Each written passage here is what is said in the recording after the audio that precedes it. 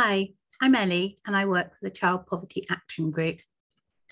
I'm going to talk to you about effective ways that schools can talk to their families about costs and money. Now, more than ever, schools want to do practical things to help families who are struggling with rising prices and reduced incomes. But talking about money can be difficult. If you've just gone without something so that your kids don't have to, it might be the last thing that you want to think about. We know that there can be lots of support out there for families who are struggling with the cost of the school day and with making ends meet more generally. However, lots of people are unaware of the support and don't take up the things that they're entitled to. We hope that using some of the steps that I'm going to outline in this presentation will give you more confidence to start having those compassionate conversations with your families and connecting people with the support that they're entitled to. We know that financial worries can cause stress for parents and carers and affect how children and young people feel about school making them unhappy, discouraged, and unable to get fully involved in learning. Meeting rising costs can mean cutting corners elsewhere in the family budget. And when costs can't be met, children and young people can miss out on opportunities and feel different if they're unable to have and do the same things as their friends. In Wales, education is supposed to be free, but a lot of things at school are not. This short e-learning will help people working in schools understand effective and non-stigmatizing ways to bring up the subject of costs and money with families who are facing hard times. I'll also show you some simple steps to help connect your families with services that can help them to maximize their incomes and develop greater financial resilience. So why is this support so needed? We're all well aware of the cost of living crisis. Prices are going up much faster than people's incomes are. Some of us will have savings that we can dip into in order to bridge the difference between the money coming in and the money going out. But at least one in five families in Wales have no savings at all to fall back on. And many are living on less money than they need to get by. Research by the Bevan Foundation in the winter of 2021 found that around one in five families with children said they were already having to cut back on items for children, including books, toys, nappies, and clothing. And the same research found half of single parents were going out without enough food for themselves so that their children could eat. And since then, prices have started to rise at the fastest rate in 40 years. People's incomes aren't keeping up. Now we know that just under a third of children in Wales are growing up below the poverty line. That's around nine children in a class of 30. Poverty affects every aspect of family life. Having less money than you need to meet your basic requirements is very stressful parents and carers tell us that they feel worried all the time.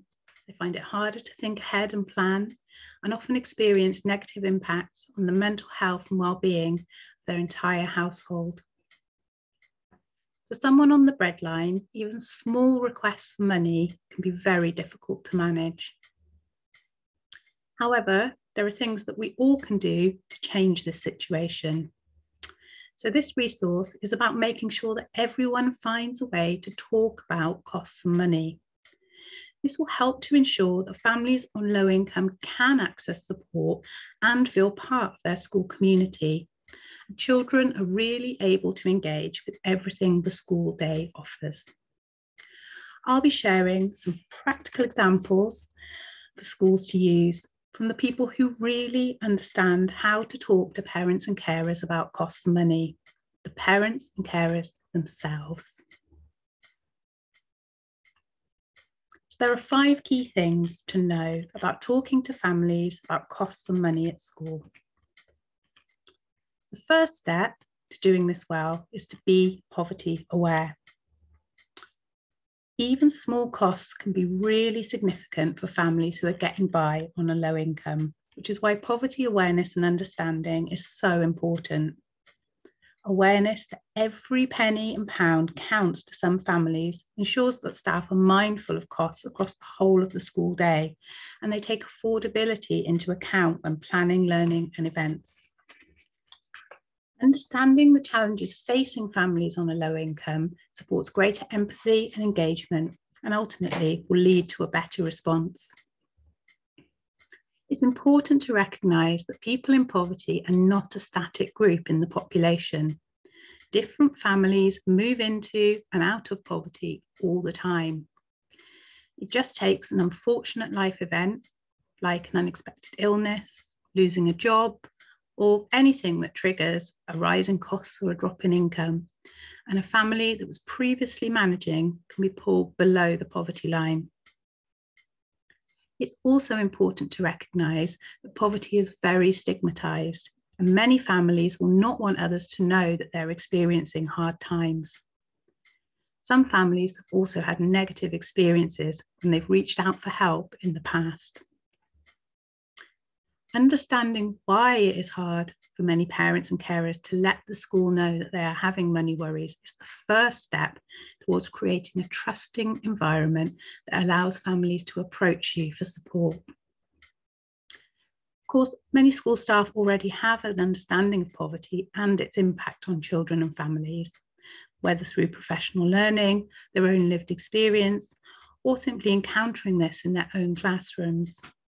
However, the nature, depth, and extent of poverty is changing all the time. Even for staff who have had some understanding, it's still a good idea to continue to build on this work and update everyone's knowledge from time to time.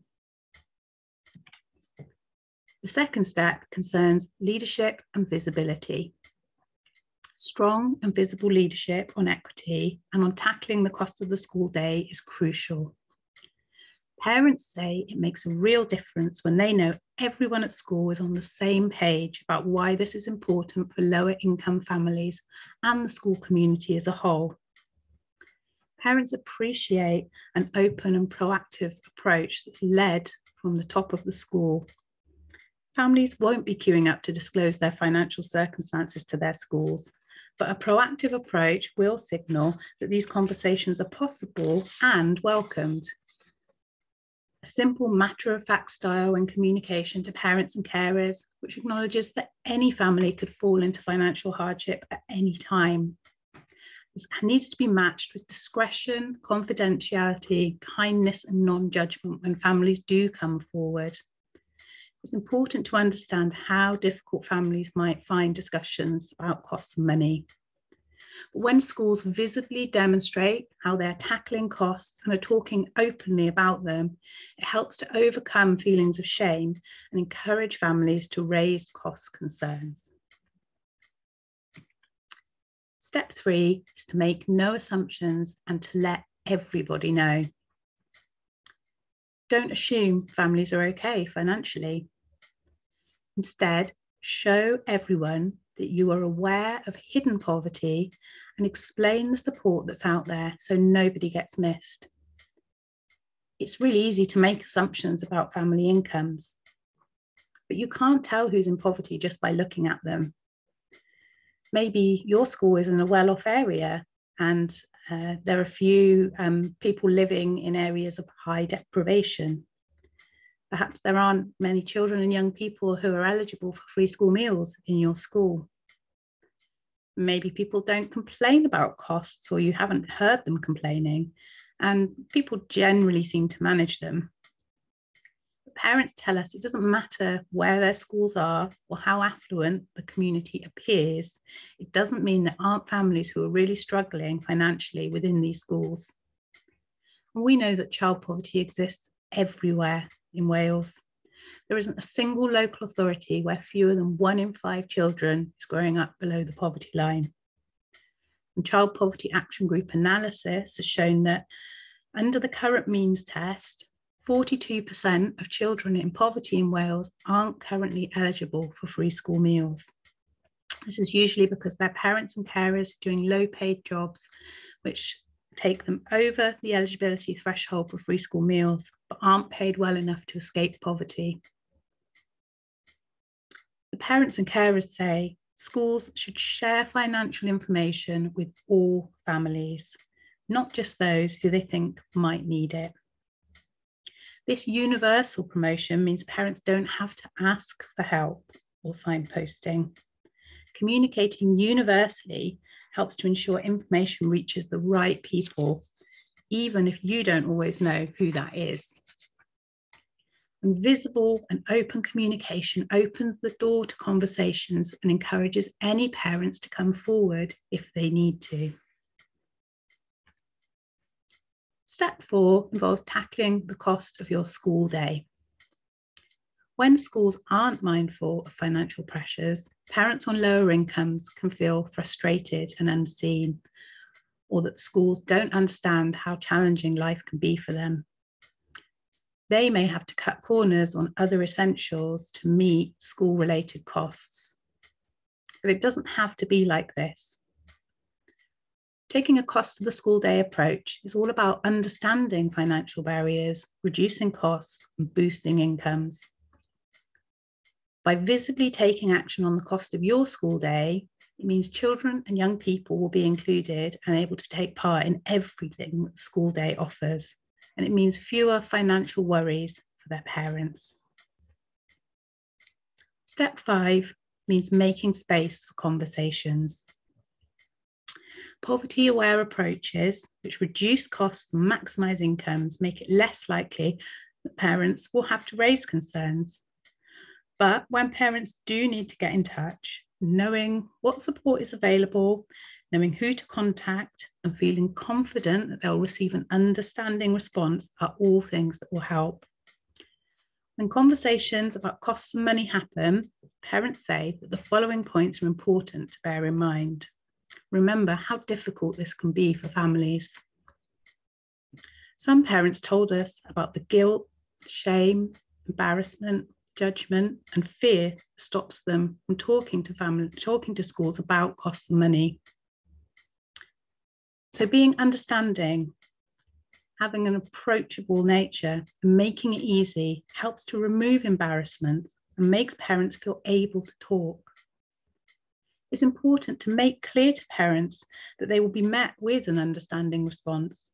No matter how good you know your support will be, Parents don't know until you tell them and may still feel judgment or negative impact for their children.